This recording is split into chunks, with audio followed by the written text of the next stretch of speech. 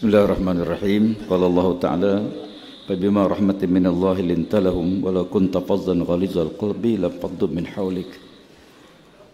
Fa'fu anhum wastaghfir lahum washawirhum bil amri fa iza azamta fatawakkal Allah. Innallaha bil mutawakkilin.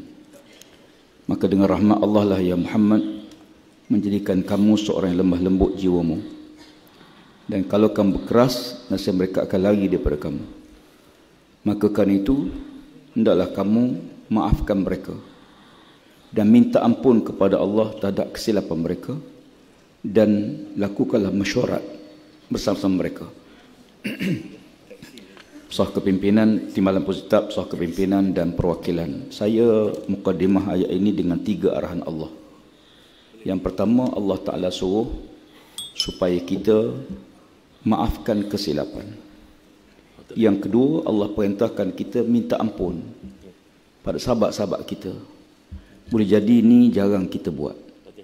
Ya, doa kita ya Allah ampun dosa sahabatku. Orang menentang kita mungkin kerana jahil, mungkin dia tak tahu.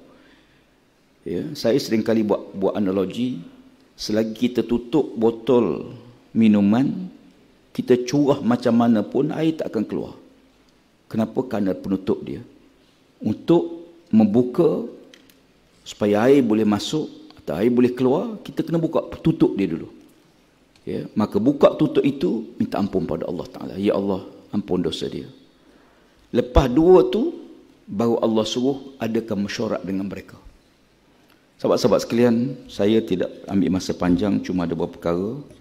Yang pertama sekali uh, saya tengok muktamar kita mungkin kerana penjarakan dan sebagainya. Ada suasana yang biasanya takbir ni dibawa daripada bawah bukan yang pimpinan suruh takbir ini sepanjang saya dapati pementangan presiden tadi, yang atas ni suruh takbir, tuan-tuan sambut. Mungkin tukang suruh takbir tu tak mari rasanya. Kerana penjarakan. Alhamdulillah. Oh, baru bunyi. Ada rupanya. Yang pertama sekali saya nak uh, tentang terima kasih banyak pada perwakilan yang membangkitkan isu mendukung muafakat nasional dan perikatan nasional. Ramai di antara kita tak faham mana satu. Kita ni muafakat nasional ke ke perikatan nasional? Ya. Muafakat nasional ialah gabungan parti-parti di Semenanjung. PAS, AMNO bersatu. InsyaAllah bersatu akan di secara resmi akan diterima sempena sambutan setahun ulang tahun pertama muafakat nasional. Demikian juga gabungan parti-parti di Sabah dan gabungan parti-parti di Sarawak. Tiga komponen gabungan ini membentuk perikatan nasional di peringkat induk. Kira jelas. Ya. Jadi sebab ada yang tanya ustaz kami nak buka perikatan nasional ke di kampung? Tak. Ya. Dalam konteks kita ni lah kita mengekalkan muafakat nasional dalam konteks semenanjung. Gabungan tiga itulah membentuk perikatan nasional dan Perikatan Nasional telah berdaftar. Kita dah setuju dua perkara besar dalam muafakat nasional. Pertama, satu lawan satu dalam pilihan ke-15. Yang kedua, kedua-dua parti bersetuju mengekalkan Tan Sri Mahdi Yassin sebagai Perdana Menteri selepas pilihan ke-15. Saya fikir kita selesai perkara besar dalam bagai ini. Soal agihan kursi ramai yang bertanya, kita ada beberapa jantatan kuasa. Pertama, kita ada kuasa induk, sebelah orang daripada setiap parti. Di bawahnya kita ada kuasa teknikal, lima orang setiap parti. Dan satu jawatan kuasa yang baru kita wujud dipanggil jawatan kuasa agi, perunding agihan kursi. Jawatan kuasa perundingan agihan kursi ini terdiri pada lima orang setiap parti. PAS ya, diketuai oleh naib presiden, termasuk juga dalamnya uh, ketua pengarah pilihan raya dan dan seusaha agung supaya lima orang setiap parti. Pertemuan telah pun dibuat kali pertama mesyuarat Alhamdulillah asas-asas kepada perbincangan tu nampak sangat positif. Iaitu telah dinyatakan tadi dalam sidang media oleh Tuan Guru Presiden.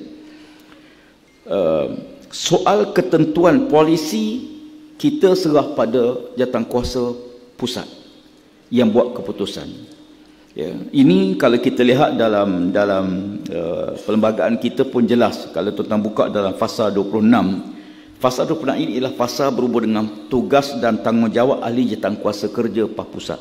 di antaranya dalam perkara 9 kurungan F memilih dan memuktamadkan calon-calon bagi Dewan Rakyat dan Dewan Negeri dengan syarat adalah memilih dan kepa dengan kepatuhan dan kepatuhan mengenainya tertakluk kepada peraturan pemilih calon yang ditentu oleh Majlis Syura Ulama. Tanggungjawab memilih calon dan sebagainya ialah hak dalam konteks perlembagaan parti ialah hak jawatan kuasa PAH Pusat dengan kelulusan Majlis Syura Ulama. Ya, sebab tu saya fikir polisi-polisi besar soal-soal kursi mana kursi mana ni saya fikir jangan kita timbul polemik di peringkat negeri ataupun kawasan ya sebab jawatan kuasa akan juga bincang di peringkat negeri untuk kita buat keputusan. Ya supaya kita dapat uh, buat keputusan dengan dengan teratur. Terima kasih banyak pada perwakilan daripada Sabah. Saya memahami bila saya turun ke Sabah tentang sentimen ya, bila saya masuk bilik uh, bilik gerakan di Sabah ya khususnya di di apa?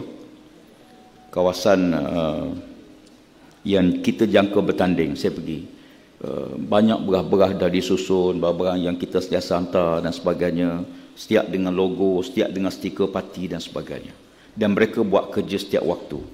Tetapi saya beritahu bahawa apa yang kita buat selama ni pahala tidak tidak kurang sikit pun si Allah Subhanahu Wa Taala. Kebajikan kita buat kita terus. Bila parti putus kita dengar ucapan perwakilan Sabah tadi ya, dan mereka akur dan mereka patuh kepada keputusan dan saya rasa inilah hasil daripada apa yang telah kita putus dalam konteks walak ya, dan taat kepada keputusan parti. Perwakilan banyak bertanya tentang soal kursi termasuk juga Sarawak. Dia kata jangan lupa bertemaru. Ya, dan ada tiga kursi yang disebut-sebut tadi. Ya, sebenarnya untuk makluman jatuh kuasa kita mengambil kira semua negeri-negeri untuk kita perhalusi dalam jatuh kuasa nanti insya-Allah. Ya, cuma uh, apapun perbincangan-perbincangan kita akan libatkan di peringkat negeri. Tuan-tuan tak perlu rasa risau dengan situasi tersebut. Ya, dan apa-apa keputusan dia akan balik kepada majlis presiden untuk makluman kita dah bentuk suatu majlis presiden di peringkat ketiga-tiga parti untuk kita kalau tak selesai di peringkat uh, jawatan kuasa induk maka penyelesaian akhir ialah di peringkat majlis presiden uh, insyaallah uh, dan kita aku dengan keputusan yang telah pun dibuat soal uh, yang lain yang dibangkitkan juga oleh banyak perwakilan ialah saya tengok isu soal uh, wawasan induk negara sejahtera WIN yang telah kita menjadi sebahagian di antara uh, strategi masa fikir ini antara hasil-hasil besar yang ditinggalkan oleh sebahagian pimpinan kita yang dah pergi bagaimana kita merancang ke arah itu. Cuma saya tengok dan saya bincang dengan Fadil yang berhormat Ustaz Idris bagaimana kita menyusun soal tarbiyah pengisian dalam konteks kita sebagai kerajaan. Muk kita hari ini masih lagi muk sebagai tidak sebagai kerajaan dari segi sentimen. Ya, nak tak tahu nak masuk lagi dan tak tahu nak buat apa. Ya, jadi oleh kerana itu ruang yang ada ini perlu dimanfaatkan sebaksimal mungkin. Ya, mungkin pendekatan dan kaedah-kaedah yang perlu kita perhalusi dan saya yakin insya-Allah kita ya, bergerak kepada kemenangan lebih besar dalam piala ke-15 insya-Allah. Ya, jadi sehubungan dengan itu beberapa aspek-aspek uh, termasuk juga pengurusan organisasi ya, dan sebagainya yang akan kita perkukuhkan sebagai jalan-jalan penyelesaian ke arah uh, menjadi sebahagian daripada kerajaan yang memerintah. Dan satu perkara yang akhir yang saya ingin sebutkan juga ialah kenapa kita pilih tema ini. Ya, tuan sekalian Islam memperkukuhkan perpaduan. Isu perpaduan ini isu yang belum selesai walaupun negara kita dah mereka 60 tahun, 63 tahun. Ya, dan pas kita bawa gagaskan suatu gagasan nak buang sentimen ketakutan kepada institusi Islam almarhum Tok Guni Aziz bila perintah Kelantan waktu duk fobia dengan dengan Islam kita istihar membangun bersama Islam takut apa ya, sebab gagasan yang kita bawa pendekatan kita bawa memang pendekatan bersifat universal.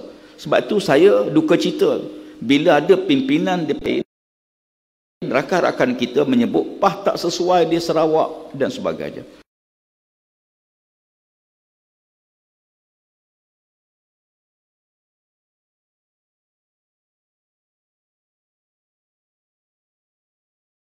kita melihat bahawa agenda Islam yang kita bawa ni sesuai untuk semua agama, semua ketidakadilan dalam sistem yang kita bawa. Sebab tu bagi kita, kita perlu terjemahkan ya, agenda perjuangan yang selama ni kita dalam bentuk tutur kata kerana kita belum merintah, kita perlu terjemahkan dalam konteks bukti waktu kita mencapai kemerdekaan, ke pemerintahan.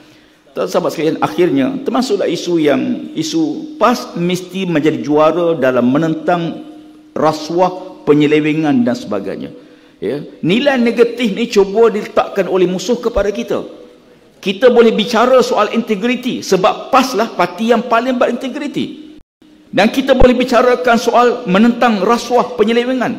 Sebab kita Alhamdulillah ya, kita berjaya membuktikan kemampuan kita. Jadi oleh kerana itu hari ini kita mula bergerak kepada suatu istilahnya ialah menterjemahkan apa yang dalam bentuk perbuatan dan pembuktian sebagai sebahagian daripada tanggungjawab kita meneraju kerajaan. Siru ala berkatilah. Terima kasih. Assalamualaikum warahmatullahi wabarakatuh. Terima kasih Datuk Seri.